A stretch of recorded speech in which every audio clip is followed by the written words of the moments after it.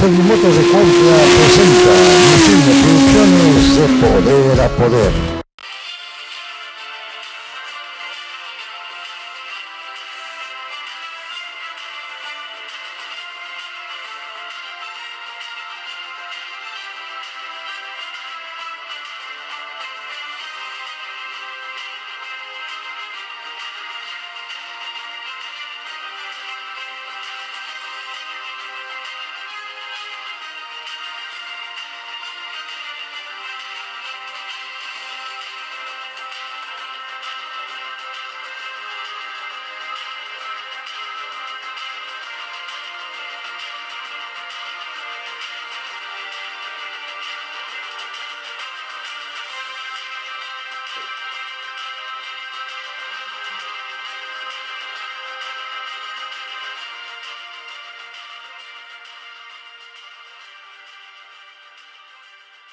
Buenos días, por favor, su nombre y su cargo. Rodrigo Arredondo López, presidente municipal de Cuautla, Morelos. Presidente, para que nos confirme si ya hay fecha para la inauguración del Zócalo de la Plaza Revolución del Sur. Sí, ya tenemos la fecha. Eh, estamos solamente en el último punto como para que el gobernador nos eh, pues dé la certeza de que va a estar, pero sería en justamente los arranques de los festejos de eh, la conmemoración del inicio y rompimiento del sitio de Cuautla, que sería el 19 de febrero, es domingo si no me equivoco.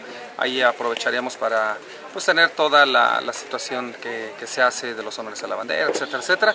Y dentro de estos de estos festejos, pues que quedara ahí inmerso también la inauguración de nuestro centro histórico y Plaza de Revolución del Sur. Fecha histórica importante, ¿no? Muy, muy importante porque, pues bueno, es un una obra que se había estado solicitando hace muchísimos años, ya era muy necesaria y que bueno, pues eh, ahorita nosotros también estamos ya iniciando los, los trabajos a marcha forzada de todo lo que es la pintura y la el remozamiento pues, de las fachadas de toda la parte que se, que se trabajó ¿no? dentro de este centro histórico y Plaza Revolución del Sur, para que se vea una obra pues, trabajada de manera integral, no solamente en el agua, en el drenaje y en el drenaje sanitario, tomas de agua, eh, descargas domiciliarias, jardinería obviamente este, y todos los pisos ¿no? que se colocaron. También vamos a colocar ahí unas, este, unas bases digamos para unos macetones en los cuales pues como anunciamos el lunes estos vestigios arqueológicos que encontramos vamos a, tomarle varias, eh, varias este, similitudes,